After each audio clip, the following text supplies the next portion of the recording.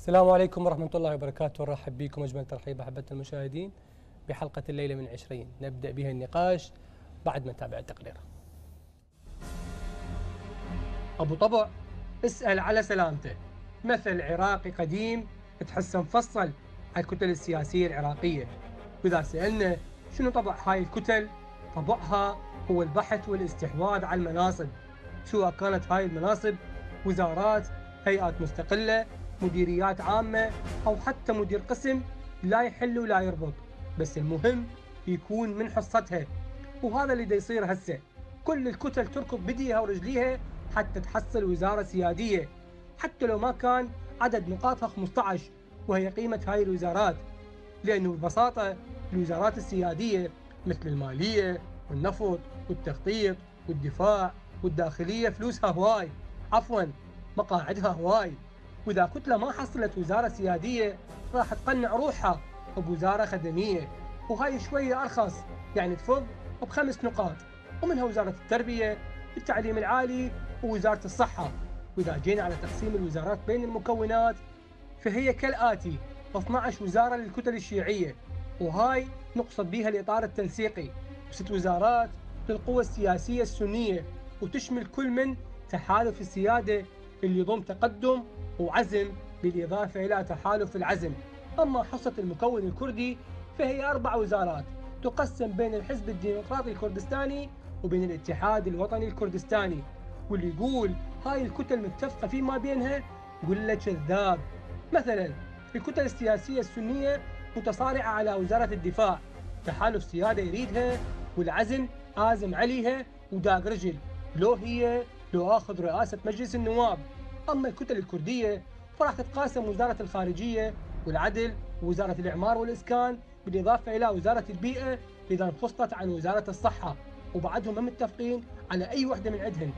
وإذا جينا على الكتل الشيعية فالمشهد معقد أكثر والسبب هو الأخبار المتضاربة حول تخويل السوداني باختيار الوزراء أو ترشيحها من قبل الكتل المكونة للإطار والخلاف على وزارة النفط هو السائد.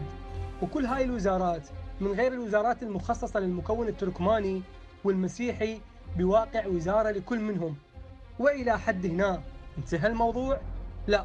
بحكومة السوداني راح يرجعون نواب رئيس الجمهورية بواقع نائبين واحد منهم المالكي والثاني الخميس الخنجر. هذا كله من جانب. أما من جانب موعد تحديد جلسة التصويت على المنهاج الوزاري وعلى الكابينة الوزارية ما تحدد لحد لحظة كتابة التقرير وما راح يتحدد إلى أن تخلص عملية تقطيع الكابينة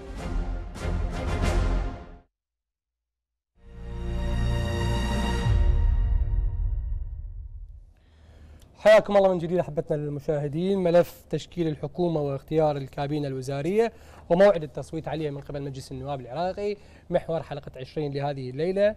نتناقش به مع ضيوفي الأكارم كل كل من السيدة النائبة ضحى القصير نائب عن دولة القانون رحب بيك. ست ضحى.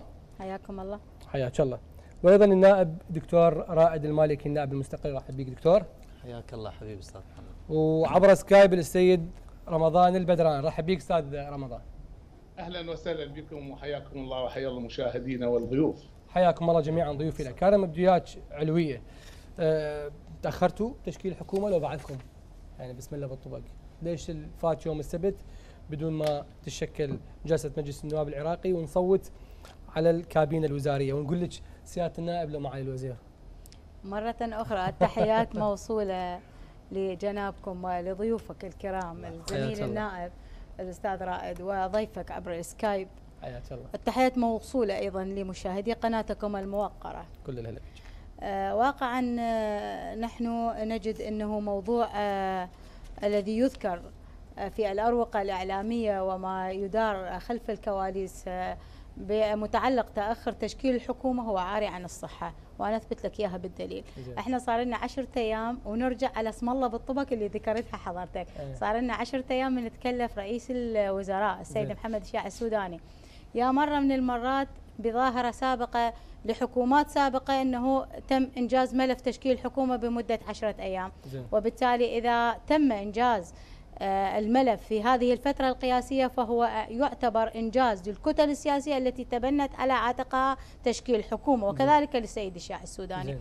لذلك أعتقد إن شاء الله الأيام القليلة القادمة سوف آه، تكون فيها لمسات واضحة لحسم ملف تشكيل الحكومة بعد أن توضع النقاط على الحروف لتترجم السطور وتصبح القراءات واضحة إيش وقت هاي تصبح القراءات واضحة؟ يوم يعني الخميس؟ إن شاء الله يوم نهاية؟ نهاية الأسبوع الحالي إن شاء اتفقتوا على الله الخميس مبدئيا؟ لحد الآن لم يكن هناك شيء رسمي يجوز السيد. النائب يأيدني بهذا إحنا- الموضوع إحنا ما كل من نقدر نبلغ إذا ما ينزل عندنا جدول أعمال إحنا كل معلوماتنا تجي من عندكم أكيد. من, من الطبقه السياسيه أكيد اللي أكيد. وصلتنا إنه يوم الخميس جلست لتصويت على تشكيل حكومة وبالأمس القريب وصل لكم يوم السبت السبت. نعم. إيه وبين السبت والخميس إن شاء الله يحسم الملف إن شاء الله إن شاء الله ما جاوبتيني معالي وزيرة لو سيادة النائب إحنا الآن مكلفين شرعا اولا موضوع ال ال الأسماء اللي تطرحها حضرتك مع الوزراء هذه تطرح كثيرا كل أيه. الموجود الآن يقول لك فلان حيصير وزير ما. عندنا أي تبليغ رسمي بهذا الموضوع ولا عندنا أسماء نعرفها إحنا الأمر متروك للسادة قادة الكتل السياسية وبالتحديد السيد رئيس الوزراء على اعتبار أن الأمر من شأنيته وخصوصيته وهناك مساحة كافية أعتقد تم وهبها إياه من قبل الكتل السياسية ولدى العم الأغلب هذه الفكرة موجودة وبالتالي الخيار سوف يكون له. والكرة في ملعب السيد السوداني إن شاء الله زين ارحب بك مرة ثانية دكتور رائد ويعتبر الله. تأخير موضوع تشكيل حكومة. يعني نعرف كل زين يمكن تداول بالإعلام بشكل كبير حضرتك نائب مستقل ومن ضمن كتلة إدارة الدولة. يعني سمعنا حتى على مزادات أو بورصات أو أرقام. هسه هذا ما قصدك مو أنا من ضمن كتلة إدارة الدولة قصدك المعلومات اللي دا تنقل لا حضرتك مو من ضمن. نعم يعني نعم, بالتالي نائب مستقل ممكن حصل على معلومة من من نعم. جنابك بهذا الموضوع. هذا ما يتداول بالإعلام. عن ارقام وجود أرقام وبورصات وميزانيات وبعض الاسماء تتداول ومدراء مكاتب هذا بالفعل حقيقي. يعني عملية تشكيل حكومة السيد السوداني مشابهة لتشكيل حكومات سابقة. تفضل. آه نعم بسم الله الرحمن الرحيم. في البدء آه أحييك آه، أستاذ محمد حياك الله دكتور. وتحياتي لزميلتنا السيدة النائب ضحى. وأيضا لضيفك عبر سكايب ولجمهوركم الكريم. حياك. آه، في الحقيقة يعني ابتداء آه، السقف الدستوري لتشكيل الحكومة هو آه، 30 يوم. زين. وبالتالي إذا تم تشكيلها ضمن هذا ال- ال- السقف يعني ضمن منتصف المدة مثلا هذا يعتبر يعني أمر طبيعي فماكو تأخير. نعم آه، فيما يخص سؤالك آه، حول آه، وجود صفقات أو عمليات بيع أو مزاد للمناصب. آه، في الحقيقة هاي الظاهرة موجودة بال- بالتجارب السابقة تجارب تشكيل الحكومات السابقة. نعم. مبدئيا الآن الحكومة الحالية من حيث طبيعتها لا تختلف عن الحكومات السابقة. مهم. يعني في يوم آه، أدائنا لليمين الدستورية طبعا أنا أديت اليمين يوم 23 6 نعم. كنائب مستقل آه، كان هناك بيان قرئ في آه، مجلس النواب. وأعلن به أعلن فيه بشكل آه، أولي عن طبيعة التوجه نحو أي حكومة وأي شكل من أشكال الحكومة. فأنا حفظت هذه العبارات أنها حكومة توافقية وتستهدف الخدمة وشراكة وتوازن. وبالتالي هي تقريبا باستثناء عبارة الخدمة. هي تشبه. الحكومات إي وظيفة الحكومة أو هدفها هي تشبه الحكومات السابقة. وأنا يوم أمس تساءلت يعني إذا كان الهدف المعلن لهذه الحكومة هو الخدمة فلماذا هذا الخلاف والصراعات آه، والتنافس اللي ت- تجاوز التنافس الحد الطبيعي. على الوزارات والمواقع نعم هل من أجل خدمة الشعب العراقي حقيقة. ولماذا هذا التنافس والصراع على وزارات محددة ومعروفة بوفره تخصيصاتها أو بإمكاناتها. مهم. كأنه الأحزاب السياسية والطبقة الحاكمة لم تستفد من التجارب السابقة. ممكن بالعكس دكتور. نعم. ممكن الطبقة السياسية عرفت يعني بحساسية ال ال الوقت اللي يمرون به. بعد 20 سنة تعتبر كل الطبق- الطبقة السياسية فشلت بتقديم تقديم الخدمات للمواطن بشكل مباشر. وبالتالي هاي فرصة أخيرة نعم. تعتبر عندهم ومن حقهم أن يقدمون خدمة حتى يفتون هذه الكتل يعني كتل رغم- صادقة مع نعم جمهورها. رغم آه، يعني إحنا يعني قرارنا بعدم الدخول في تحالفات تشكيل الحكومة وبحثنا عن أداء وظيفة أخرى مهمة للنظام السياسي وهي وظيفة المعارضة. نعم. ولكن إحنا نتمنى أن تكون هذه الأحزاب وهذه الكتل والطبقه الحاكمة بشكل عام بمختلف توجهاتها مو فقط من جهة واحدة. أن تكون قد استفادت ووعت الدرس لأن القادم سيكون أخطر من مما مضى. وربما هذه يعني فرصة أخيرة متاحة أمامها وهي فرصة جيدة في الحقيقة. نعم. يعني بإمكانياتها المالية للدولة والإيرادات وهي جيدة أيضا بالأغلبية البرلمانية اللي يحظى بها المكلف لرئاسة الوزراء. فإذا لم يتم الاستفادة من هذه الفرصة النتائج ستكون جد نسبة الحقيقة بالكلام المتداول بالإعلام حول مزاد بيع الوزارات أو كذا. حقيقة موجود هذا الشيء. موجود. موجود. ولكن آه، آه، في أي وزارة ولدى أي مكون أو أي. فئة تعرف يعني إحنا أصبحنا نميز حتى طريقة فساد حزب عن آخر.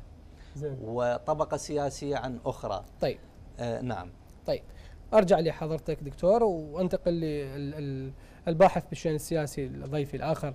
الأستاذ رمضان البدراني كرر الترحيب بحضرتك أستاذ رمضان وليش يعني مستعجلين على تشكيل حكومة؟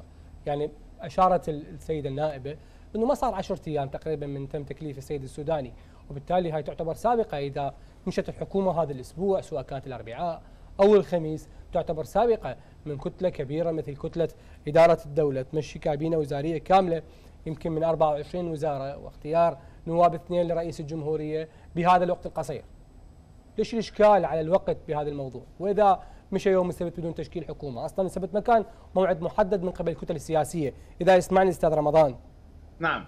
أي. آه، أسمع جنابك. آه، تفضل. أكرر التحية. لحضرتك وطبعا آه، قبل أن أتداخل يعني فقط أريد أن أطرح سؤال تعليقا على ما ذكره الأخوة النواب. نعم. وخصوصا السيدة ضحى ذكرت عبارتين. الأولى نحن مكلفين شرعا والثانية الأمر متروك للسادة رؤساء الكتل والأحزاب. فهذا الأمر يطرح سؤال هل إن تكليف النائب الشرعي وأتمنى الإجابة من السيده ضحى هل إن التكليف الشرعي سيجعلها تقبل بوزير وترفض وزير؟ هل سيجعلها تقبل ببرنامج أم لا تقبل ببرنامج؟ إن تكليفها الشرعي سيجبرها على القول نعم على كل الأمور جملة وتفصيلا وهل هن المئة ألف الذين تمثلهم نعم. عادت إليهم لترى مصلحتهم في هذا الأمر أم ذاك وبالتالي تصوت أم لا طبعا هذا السؤال افتراضي لجنابها باعتبارها على الهواء ولكل نائب أتساءل هذا السؤال باعتباري أعد نفسي مواطن مراقب يتابع نعم. حقوقه في هذا البلد. يجاوبون يجاوبون حضرتك من نرجع لهم. عفوا؟ يجاوبون حضرتك من نرجع لهم. نعم نعم نعم هذا الجواب ادخره لأنه هو سؤال افتراضي للجنابه ولكل نائب إنه نعم. هل التكليف الشرعي يعني منح منح الشرعية والسيادة للسيد رئيس الكتله وهو لم يذكر في الدستور؟ زين. السؤال الأهم من هذا سؤال جنابك هو إنه آه، لما هل إن هناك تأخير أم لا؟ طبعا نحن نتحدث عن حكومة تجاوزت السياق الدستوري منذ اليوم ال 31 لأول جلسة لها وفق المادة 72 وبالتالي كل ما بعد اليوم 31 هو خارج نطاق الدستور وكله يسير وفق العرف السياسي تطاولا على الدستور وعلى المدد الدستورية وعلى السياق الدستوري. لذا نحن أمام عرف سياسي وليس دستوري، هذا اولا. ثانيا مسألة الوقت نعم سيتفقون في نهاية الأمر مثل ما كانوا يتفقون آجي أم آجي على كل حكومات المحاصصة وبالتالي القضية هنا التي تجري اليوم هي قضية بين أمرين الكتل تريد أن ترشح أكثر المرشح أكثر الثقات. نعم. ورئيس الوزراء يريد أفضل الكفاءات. وبالتالي هو هذا الصراع البيني الذي يحصل بين رئيس مجلس الوزراء ومع كل الكتل سواء كانت إطارية أو كردية أو سنية في نهاية المطاف هذا التدافع والتزاحم. هو يريد أن ينجح حكومته بالحصول على أفضل الكفاءات. ورؤساء الكتل يريدون أن يضعون في الوزارات أفضل الثقات. وهذا ما يعني ترشح من رئاسة من لجنة اللي تنتخب الوزراء. قالوا إن هناك أسماء رشحت لا علاقة لها بالوزارات مطلقا. وبالتالي ولادة حكومة في ظل هذا التناقض وهذا التزاحم والاختلاف في الرؤية طبعا يؤشر على أن هذه الحكومة ستكون كالحكومات السابقة ورئيسها سيكون أسير للإملاءات السياسية والمزاجات السياسية. ولا نريد أن نتنبأ. مسبقا نتمنى للرجل النجاح ويجب أن نعطيه فرصة ولكن ابتداء الفشل سيؤصب بوجهه ولكن السبب الحقيقي هو للنائب. وين التفاؤل سيد رمضان؟ نعم. وين التفاؤل؟ بالعكس سيد محمد الشاعر السوداني عنده يعني آه، عنده تجربة خدميه، عنده تجربة صح. إدارية بمجموعه من المزارات اللي كان بها وزير حضرته، بالإضافة إلى أنه حتى في موضوع المفاوضات هسه نشوف يعني اشترط على كل الكتل السياسيه تكون جزء من هذه الوزارات. هي حصته بالتالي هو من يقدم به المرشحين حتى يقدم به خدمة للناس ويمكن سابقة ما شفناها بالرؤساء الوزراء السابقين. هذا هذا طبعا يضع أمامنا محورين. الأول إنه إن نجح فهو يسجل له وإن فشل سيسجل عليه.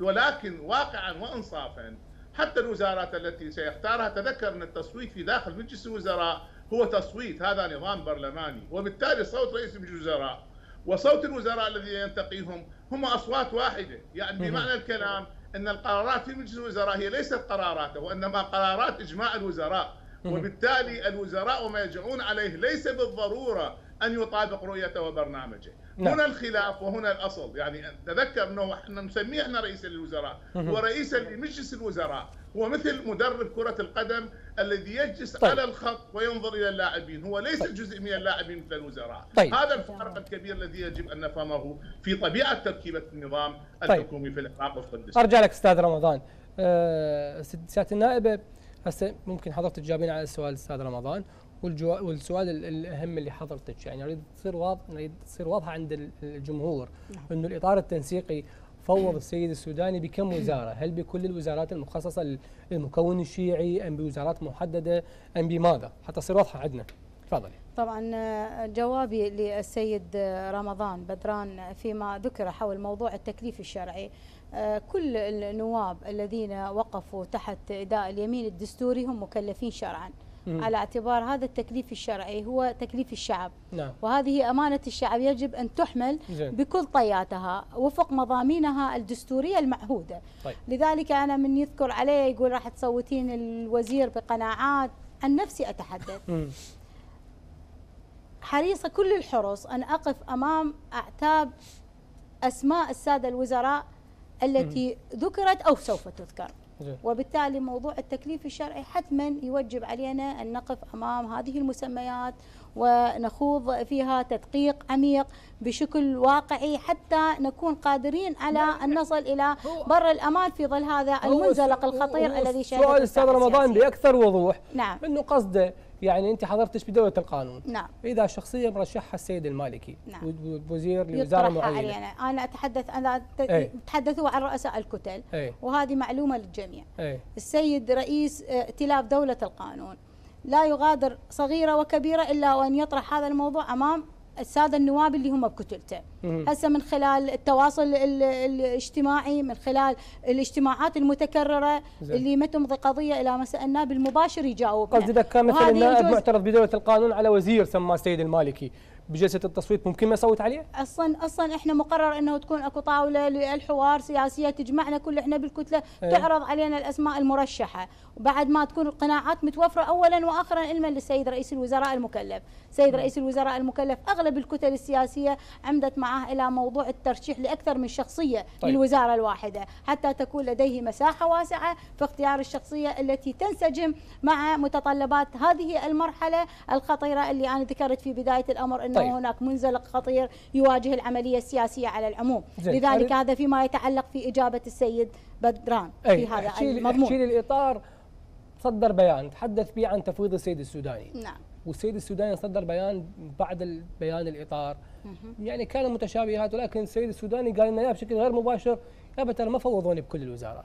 فتحچوا لنا فوضتوه بكل الوزارات ال 12 وزارة اعلاميا اعلاميا تحدث وإنما خلف الكواليس. بيان واضح من السيد إيه السوداني نعم. تحدث بهذا يعني بيان إعلامي. اي ما قال إيه. إنه ما فوضوني ولكن لما بهيك إحنا قريناه الإعلاميين. بس نعرف من عندكم قراءاتكم الإعلامية قاعد من جواب يمك مخاضات أخرى. أنا سألت سؤال. إذا كان عنده تصريح واضح في في مجال هذا الأمر حتى إجابتي تكون ضمن هذا الموقف. آه لكن إنه استنتاجات خلف قلت الدفاع الداخليه للسوداني هسه الدفاع صار عليها بوكسات بالاتحاد السيادي إحنا قلنا الدفاع والداخلية للسوداني إيه، لو السيد السوداني طلب. السوداني. السيد السوداني.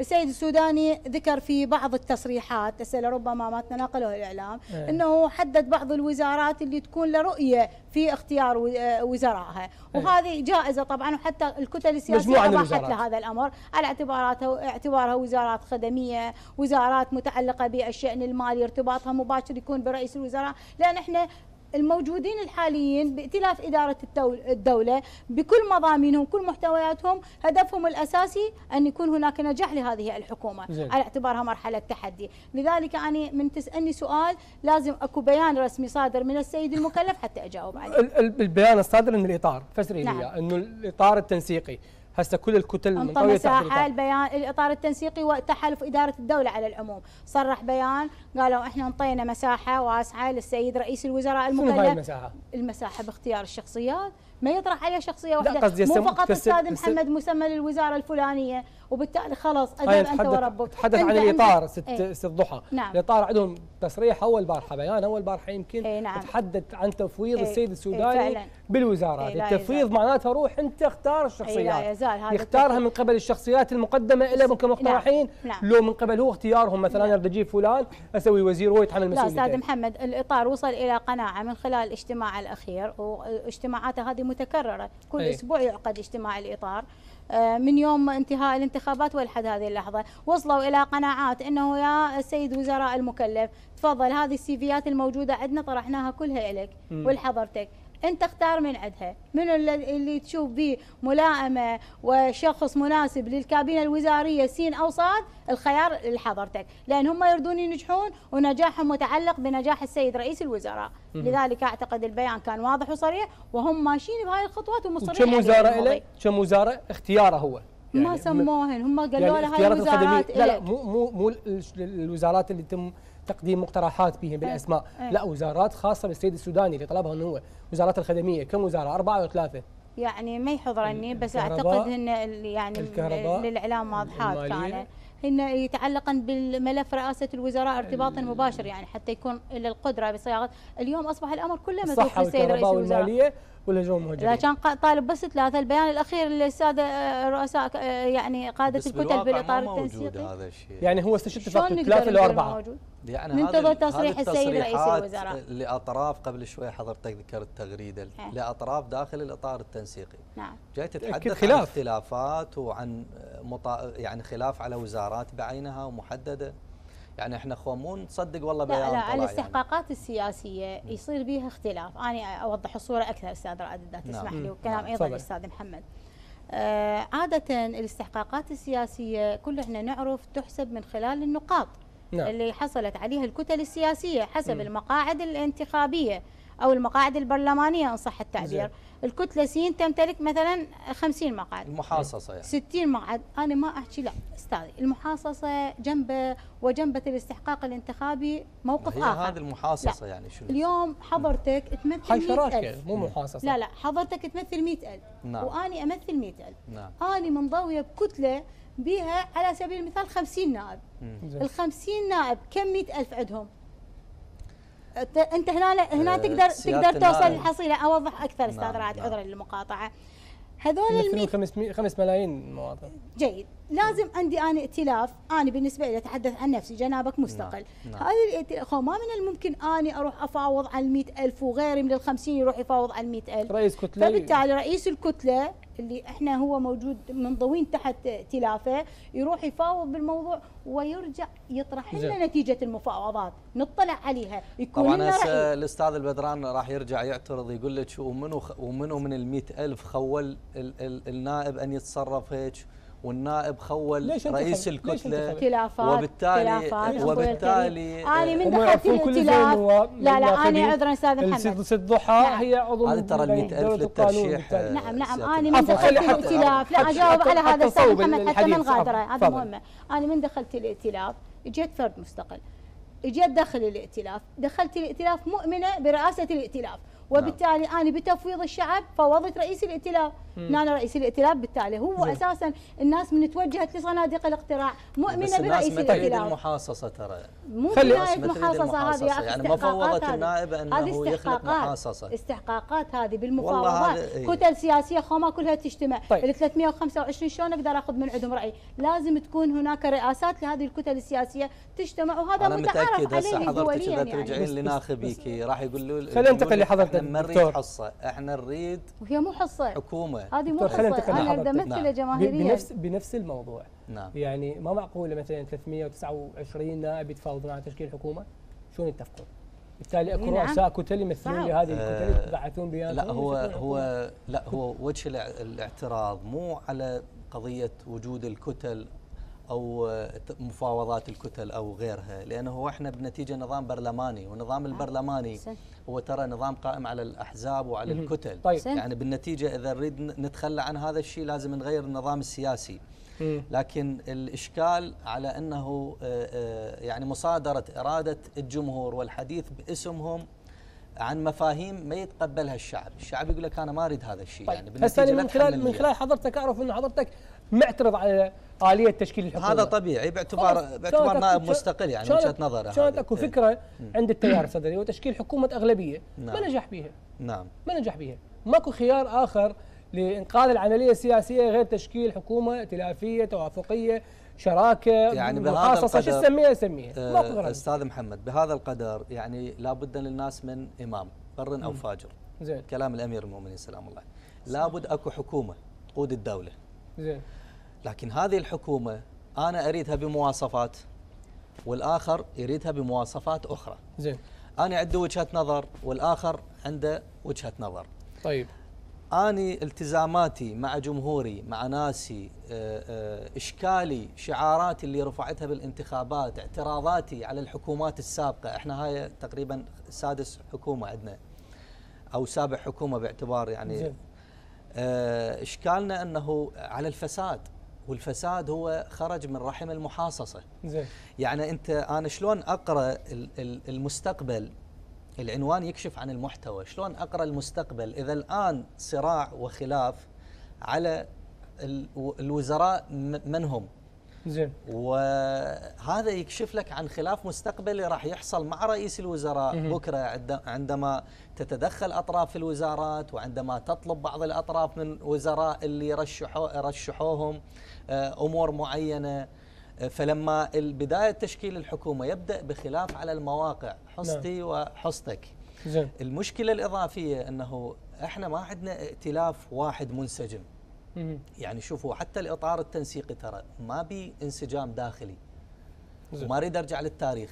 تاريخ القوى السياسية. يعني ولكن آلية تشكيل حكومة الأستاذ عفواً. رائد إذا يسمح لي أستاذ محمد موضوع الانسجام.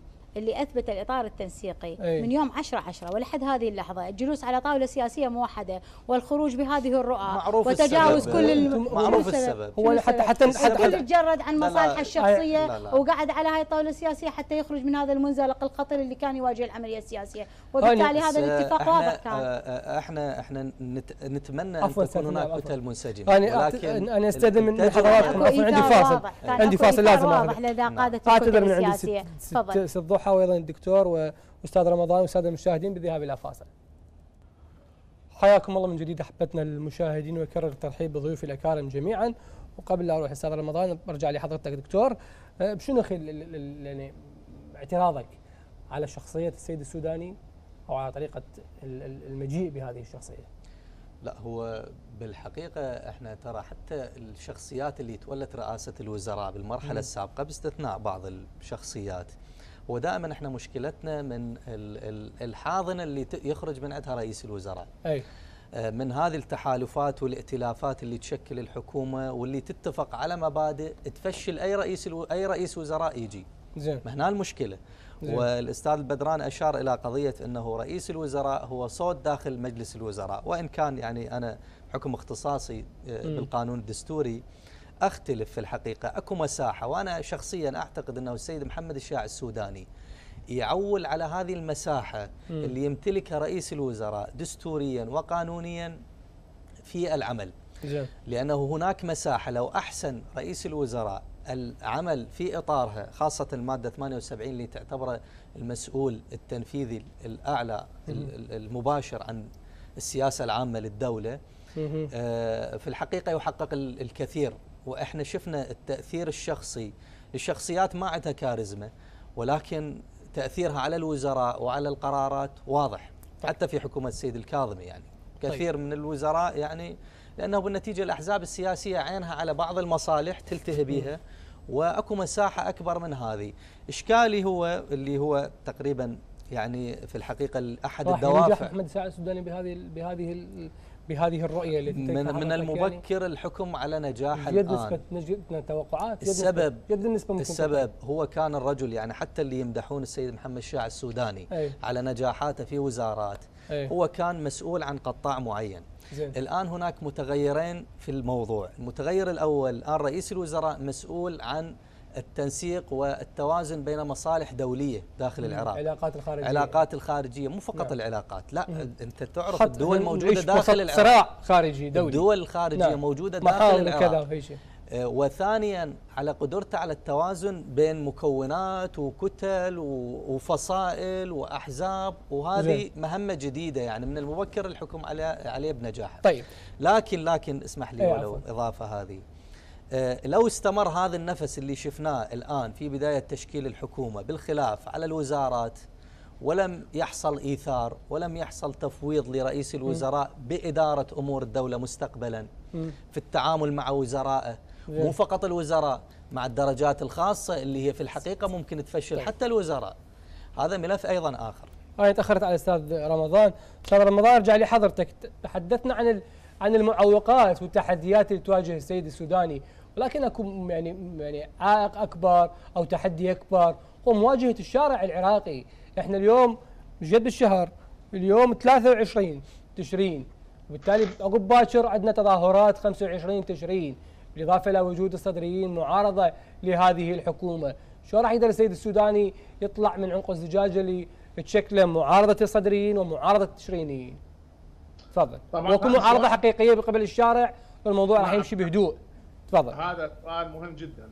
قبل أن نجاوب عليه خلينا نسوي مسح للديموغرافيا السياسية للواقع العراقي. الديموغرافيا السياسية تقول أكو 80% من الشعب العراقي متحفظين على كل هذا النظام السياسي والأداء السياسي. هذا أول 8% من الشعب.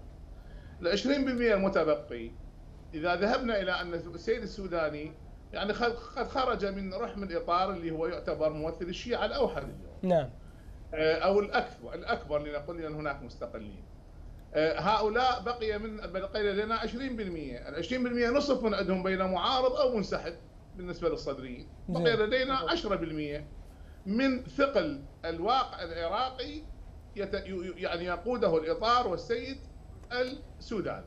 أما البقية إما متحفظ أو معارض. وهذا لا نعرف هذا سيوجهون له الانتقاد أو الرفض. هذا أولا ثانيا أدوات السيد السوداني في الإدارة. أنت اليوم تعرف مجلس آه، مجالس النواحي والأقضية والمحافظات كلها حلت وهذه كانت أدوات ومنصات تبادل بين الإرادة الشعبية وحاجة الناس وبين إرادة الحكومة. هسه مهما اتهمناها بالفساد هذا خلل في مجلس النواب الذي لم يصلح أدائها وليس خلل في الناس وليس في المجالس حتى. القضية الثانية ليس لدينا مجلس اتحاد والبعض يستخف بهذا العنوان في حين هو المجلس التشريعي الأعلى في البرلمان وهو الغرفة الخامسة الأهم في في بنى المؤسسات الدستورية. مجلس الاتحاد أو المشرعين يأخذ دوره رؤساء الكتل والأحزاب. وبالتالي المصالح العليا للبلد التي ذكرها الاستاذ رائد لا يحددها رئيس مجلس الوزراء لوحده وإنما تاثير هؤلاء عليه. اذا السيد السوداني ذاهب يخوض في مقدمة مركب يقف على صدره ويريد توجيه الأمور نظريا مثل ما يتصور السيد رائد ولكن دفة القيادة وحركه واتجاه هو بيد أخرى هي القوى السياسية المؤثرة في المشهد. لذلك عندما نقول إلى إلى كلام السيد النائب أنا أشك إن القرارات الائتلافية إيه، صالحة في النظام النيابي. النظام النيابي النائب هو أعلى سلطة ممثل للشعب. زين. أما النظام السياسي ورئيس الكتلة وغيرها هذه لم تذكر في الدستور. هذه من مكملات التنظيم والتعبئة وليست دستورية وليست شرعية، الشرعية معصوبه بيد النائب اولا وبيد الشيخ أو عضو مجلس الاتحاد أو ممثلي الأقاليم والمحافظات في مجلس الاتحاد، هذا هو بناء النظام النيابي في العراق، كل ما تبقى هو عرفي تمدد وعلى حساب المواطن على حساب النائب على حساب الدولة على حساب الحكومة على حساب كل شيء. زين. لذلك النائب في داخل البرلمان هو سيد نفسه لا سيادة على النائب وهو يمثل مئة ألف. ولذلك السيد السوداني ليس لديه علاقة في النواب على رغم ما أخذنا عليهم. ليس لديه علاقة مباشرة مع الشعب لأنه هو سيكون أسير للمحافظين. والمقامية ومدراء النواحي في حكومة خدمات سينفق المال يعطيها إلى هؤلاء. سيد سيد سيد السوداني كم كم دورة وزير؟ نائب. ثلاث دورات نائب هو أو أكثر؟ من 2010 ولكن ولكن أستاذ رائد ذكر مسألة مهمة. إنه أن تكون جزء من إدارة غير أن تكون قائد عام القوات المسلحة، غير أن تكون أنت الرئيس المطلوب منك خلق توازنات هائلة ومعقدة وأنت لا تمسك بالدفة، أنت تقف على صدر المركب كانك كأنك الربان ولكن الدفة ليست بيدك وليس بإرادتك. هذا كله طبعا يعني توصل توصل رسالة انه السيد السوداني راح يكون منزوع صلاحيات. هذا طبعا هو يعتقد هذا ولكن تعارض المصالح وحجم الفساد وحجم المحاصصة التي سرت إلى ادنى مفاصل الدولة، أدوات ما عنده، يعني قبل كانت هذه مجالس النواحي والأقضية والمحافظات بها 5000 عنصر، بها 300 مجلس ناحية، 130 نعم. قضاء، مجالس محافظات هذه كلها كانت منصات للتخطيط وإمداد الدولة بالمشاريع التي تلبي حاجة الناس، الآن الأمور راح تترك بيد محافظين وقائم مقاميه ومدراء نواحي، هذه أدوات عرضة للتلاعب والفساد لا محاسب ولا رقيب عليها في ظل حكومة تريد حكومة إنفاق ما شيء اسمه خدمات. هذه حكومة إنفاق. توجد نية لإعادة تشكيلها طبعا مجالس سوف نطلق سيولة كبيرة للشارع بلا رقابة بلا ضبط بلا مجسات. النواب لا أحد منهم يعرف ال ألف مالته حتى يروح يقول لهم هذا يرضيكم هذا لا يرضيكم. ليش؟ دائرته خب واضحة. بالعكس هسه عندنا دوار انتخابية صغيرة وكل نائب يعرف دائرته وين يروح. ما يعرف. هو النائب ويشوف صدى صدى عمله أو ردة فعل الناس عنه هذه مهمة. نعم تساعد ولكن النائب شرعا يمثل مئة ألف وعندما أقول شرعا هي قضية قبل الدستور تتعلق بالحرام والحلال.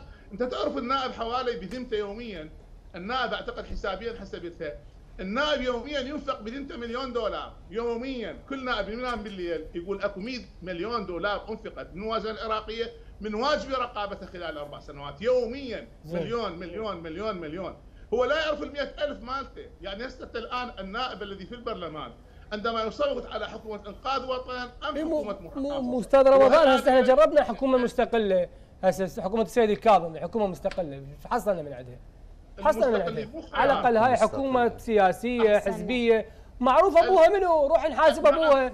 يعني فشلوا فشلت فشلت فشل الاطار التنسيقي بتشكيل حكومة خدمية للناس، الناس ما تنتخبهم خلاص تعاقبهم. يروحون يتوجهون التيار الصدري.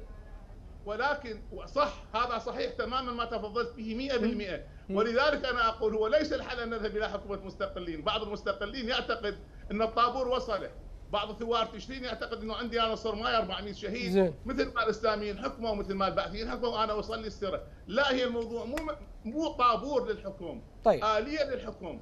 وأما الحساب اللي تفضلت به ال 100000 ولو النائب يعرف ال 100000 مالته كان راح سوى لهم احصاء سريع. يا بتفيدوني أصوت على حكومة إنقاذ لا حكومة محاصصة. حتى يعرف جمهور هم فوضوه بعد خلاص هم يتحملون مسؤولية تفويضهم إليه. عفوا أرجع لك أستاذ رمضان إذا ضل عندنا وقت أعتذر من حضرتك. تضامنيا فوضوا كل كل مواطن. عند أربع نواب تضامنيا يمثلونه. ما يعرف منهم من عندهم يدق بابه. طيب. والنواب الأربعة كل منهم لا يعرف أي 100000 ولذلك هنا هو هنا الانفصام في المحاسبة والضعف النظام الاسلامي زين. لا ست يوجد ست علاقة مباشرة ارجع أرجع لحضرتك أستاذ رمضان إذا ضل عندنا وقت إن شاء الله. ست آه، ضحى. بس الخلاف داخل الاداره التنسيقي ترى واضح. يعني اليوم كانت تغريدة كل السيدة حنان الفتلاوي تحدثت بها عن موضوع الاختلاف داخل الإدارة التنسيقية وباقي الكتل السياسية ما شارت بشكل واضح. ولكن يعني قالت قالت إذا تريدون تفوضون السيد السوداني فوضوه قولا وفعلا باختيار الوزارات حتى ننجح بعد الفشل اللي عشناه على مدى 20 سنة. وواحدة من الوزارات اللي عليها خلاف داخل الإطار التنسيقي وزارة النفط اللي راحت طلعت من من الحكمة جت لكم. كل نائب لديه حرية ولديه مساحة واسعة في مستوى تصريحاته. تصريحات ربما فردية ما تعكس رؤية الإطار. يعني السيدة حنان إذا صرحت فهذا رأيها الفردي. فما هذه رؤية الإطار. ما جاي من فراغ. إيه ما يخالف. مو رؤية الإطار أنه أكو خلاف. شنو نوع الخلاف؟ ومن يقول هذا التصريح خاص بالإطار فقط. ليش ما يكون هو خاص؟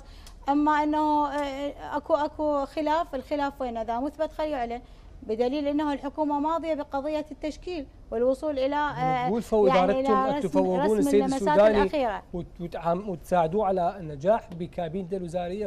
فوضوه قولا وفعلا معناته جماعة مفوضي قولا تصريحات فردية سيدي الفاضل. هذه متنم على رؤية الإطار التنسيقي أني اليوم كنت نائب أني يجي يصرح أقول مسؤول عن الإطار التنسيقي ماكو خلاف داخل داخل إطار التنسيق على وزارة النفط مثلا؟ شنو نوع الخلاف؟ أخوي الكريم هذا الموضوع إذا أكو طاولة سياسية أقعد أنا وياك نتحدث بها أنت تقول أني نقاطي وبيني هاي الورقة وجنابك تقول لا أني نقاطي اللي يبيها هذه الخلاف على حصص يعني. هذه مو حصص سيدي الفاضل حاورنا أنا وياك فيها.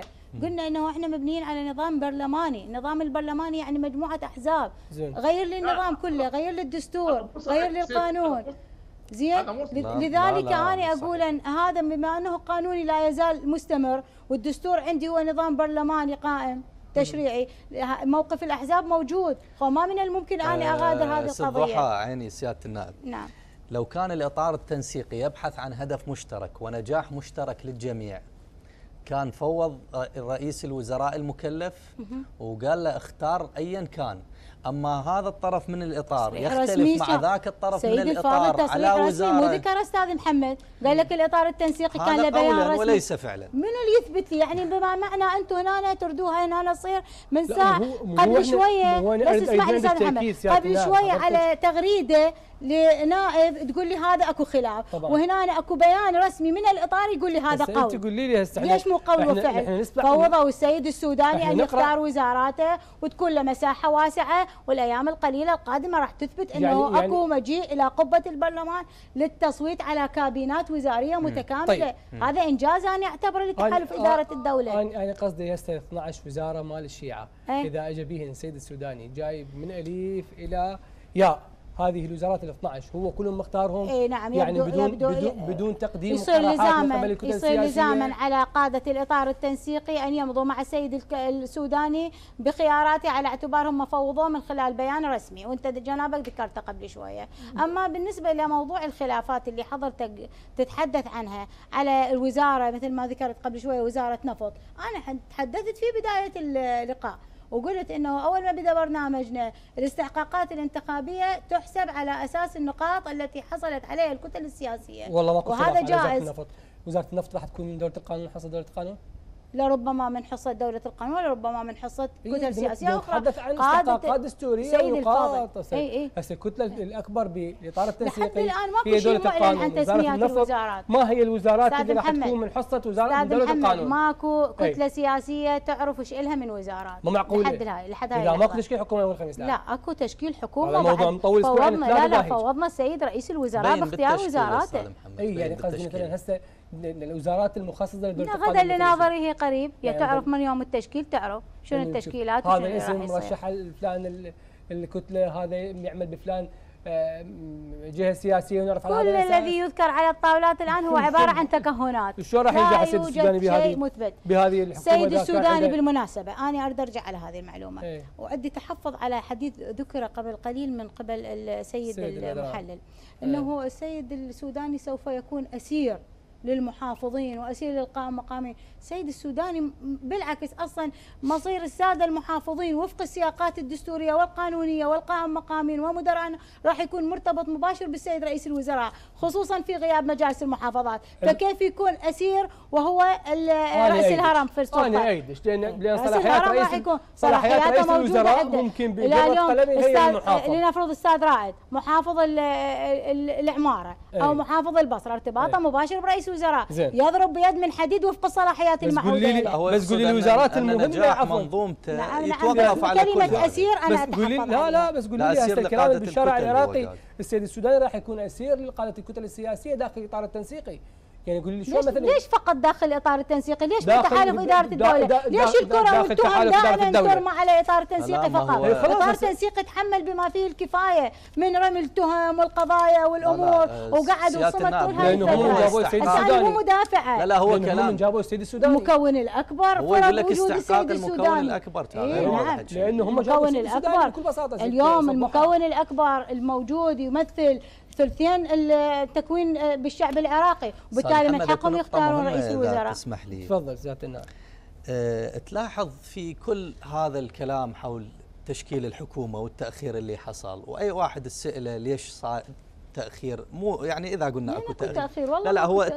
التأخير منين إجى؟ نعم، إجى من إعلان لا، أولي بس يوم السبت. يوم السبت، نعم. إيه. لا اسمحي لي إيه. يوم السبت راح يقدم فمن صار تأخير بدأ السؤال عن التأخير. زين. وإلا هو أكيد يعني ضمن عشرة أيام. نزل جدول إعلام نعم. رسمي عندنا بيوم السبت. آه ال ال لا تستعجلون ال تصرحون القضية بعد المهمة ما أستاذ حدا صار محمد. أخويا ما حدا صار. هاي تكهنات أستاذ محمد المهمة والله. هو غياب الحديث عن البرنامج الحكومي. زين. دستوريا الوزارة عندما تمنح الثقة الوزارة يعني الحكومة بشكل عام تمنح إيه. الثقة للكابينة مع المنهاج منهاج أو البرنامج الحكومي. الحكومي. الآن هل سمعت أحد يتحدث عن البرنامج الحكومي وعن الأولويات فيه وعن النقاط الأساسية فيه؟ لا والله. لو الحديث والخلاف كله عن الحصص والوزارات و- وحصة كذا وهذه المكون لو ذاك المكون. جواب السيد السوداني داخليا هذا ماذا يعني؟ السيد السوداني يقول لك اكو لا، لا، لجنه اسمح لي. ولا شكل لجنه لا لا اسمح لي. معنى ذلك. معنى مختصة. ذلك. مختصة. قدم الوزراء قدم. مثل السيد يعني عادل السيد عبد المهدي رئيس اللجنة. قدم ولجنه قدم بند مختصة. اوراق عبارة عن من لا، ناس مختصين لا. لاختيار الوزراء شلون يعني أنا بعد شنو أقصد؟ إيه. أنا قصدي إنه إحنا لازلنا لازلنا اي آه، ما مغادرين ما مغادرين. إي ما مغادرين الإشكاليات والثقافه السياسية السائدة سابقا زين في تشكيلة الحكومة وإلا يفترض اليوم إحنا نقاط أساسية تتصدر الحديث عن تشكيلة الحكومة. شنو موقفنا من العلاقات الدولية يعني يعني أحط؟ المنهاج الحكومي وعلى من أساس المنهاج أجيب شخصية مناسبة تدي لي هذا المنهاج أو تنفذ لي على هذا هذا يعني- الأساس أكو لجنة يعني ما انتخاب كان- أكو لجنة اختيار. لا لا اسمح لي. هذا بند يقودنا أستاذ محمد. هذا ولكن يقودنا. من الشخصيات اللي نفذت هذا لا اسمح لي. هذا الحكومة؟ يقودنا. لا لا هذا لا أكو قضايا. لو do لو don't راح تكون أساس لالتزام رئيس الوزراء تجاه البرلمان اللي راح يمنح الثقه وتجاه الشعب. أكو قضايا أساسية. طيب الاتفاقات اللي حصلت بين الإطار التنسيقي وأطراف تحالف إدارة الدولة. واللي إلى الآن لم يكشف عنها. وإحنا كنواب مستقلين حريصين على أن نعرف ماذا جرى وعلى ماذا اتفق. أهم النقاط و- الانتخابات المبكرة. هسه مو فقط الانتخابات إيه، المبكرة. زين. الانتخابات المبكرة المناطق المتنازع عليها إدارة الثروات النفطية قانون النفط والغاز. ما هي هذا. ما أصلا ما لم يكشف عنها. زين. وقت- مسائل مهمة خلاص في تشكيل لازم راح- للبرنامج الحكومي وأعتقد التفاصيل باقل من ثواني ست ضحى حتى راح نشوف السيد المالكي نائب رئيس الملفات الجمهورية ولا. لا؟ ما عندنا تفويض إنه نتحدث في موضوع الاستحقاقات السياسية وما عندنا علم بها، لحد الآن لا تزال الأمور والحوارات مستمرة على قضية مكتمين. الوزارية. وليش بس آه، يعني السيد المالكي يسأل على الاستحقاقات؟ الحصة الثانية مال السيد العام ليش يسأل فقط على الخنجر؟ استحقاق لو واحد من السياده سيد موجودين أنا. اساله أقول له أنا ذكرت إنه قاده الإطار. والله العظيم. ال- أستاذ أستاذ العزيز أركز على موضوع الجواب عذرا أي. أستاذ أي. محمد. أؤكد على قضية إنه قادة الإطار تحملوا بما فيه الكفاية من توجيه الأنظار وتسليط الضوء عليهم ليش بس المالكي الحكومة. كلهم هم موجودين الكل لازم. مشترك بالحكومة أستاذ إي خلاص. جلسة رئيس الجمهورية يتذكر أستاذ رائد وياي حاضر هذه هذه الحكومة ما أدري ما حضر أستاذ رائد الإطار. شو- 270 شو بيتم نائب منهم بعد سنة ونص سنتين ثلاثة هاي سويتوا انتخابات مبكرة الناس راح تحاسبكم أنتم ما راح الإطار تحاسب لا السياده. ولا الديمقراطية ولا الاتحاد. أكيد. لا، بالتالي لا، لا، لا، لازم تحالف التنسيقي الدولة. ياخذ على عاتقه تنفيذ البرنامج الحكومي لا ترمى التهم جزافا. التهم جزافا لا ترمى. التحالف تحالف إدارة الدولة. أنتم شكل أساس بي. خلاص. خلاص نائب. أنتم أساس بي. طبعا مكون الأكبر. أكيد. وبالتالي تتحملون مكون المسؤوليه أكبر الأكبر. أساس يعني المكون أكبر يعني هو إنه- شكل حضرتك النائب. ضحى القصير عن دولة القانون. إن شاء الله نشوفك وزيرة بحكومة السيد السوداني وأيضا النائب نكتفي نكون نواب إن شاء الله. شرف لنا شرف لنا نواب. دكتور رائد المالكي النائب المستقل. حياك الله أستاذ محمد. أستاذ رمضان البدران الباحث في الشأن السياسي. شكرا جزيلا أستاذ رمضان. وشكر موصول لكم محبتنا للمشاهدين على طيب حسن المتابعة.